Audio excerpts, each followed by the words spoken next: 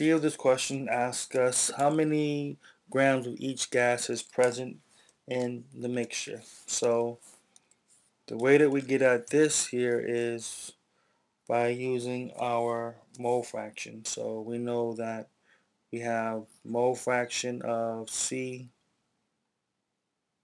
um, C2H6 is going to be equal to the moles of C2H6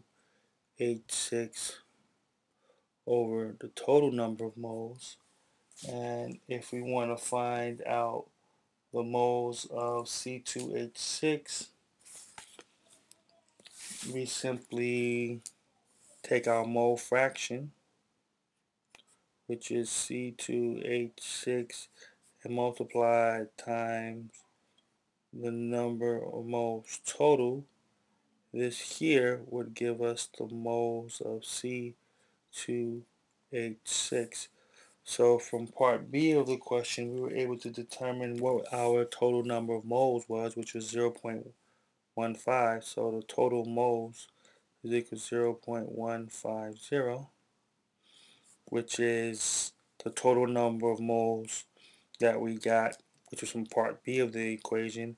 And from part A of the equation, we were able to determine our mole fraction, which is um, C2 H6, which in this instance was 0.43423, which that answer came from part A. So if we take a 0.423, multiply that time our 0.150, this here what tells us the number of moles of ethane we have, which would be 0.0 635 moles.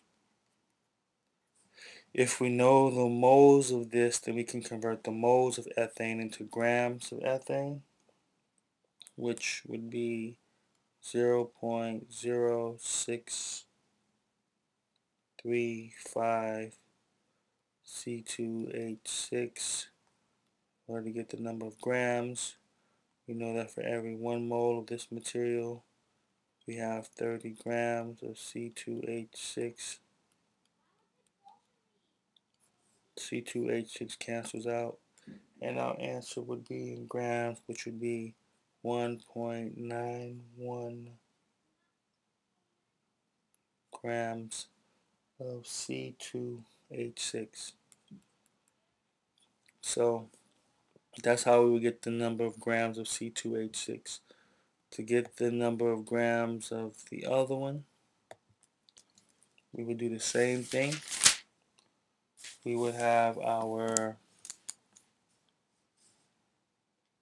mole fraction of CH4 is equal to the moles of CH4 over the total moles.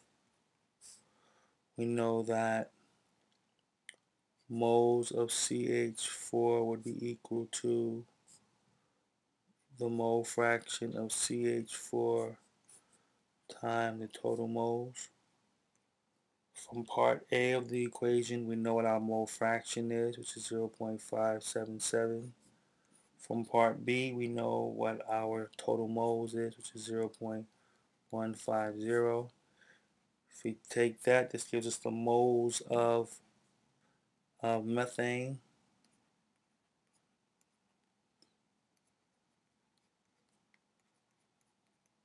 We can take our moles of ethane and convert this into grams.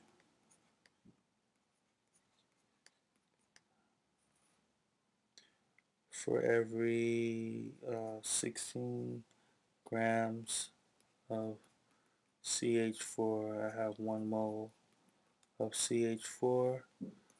This is equal to 1.38 grams of CH4.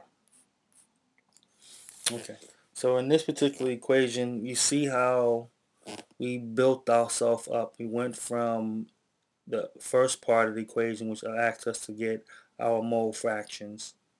And then from the mole fractions in part B of the equation, it asks us to use the total number of moles. And then in part C of this equation, it asks us to find the number of grams. So you can see how all the material is kind of interplaying on each other. Once you know one thing, then you can use that information to find something else.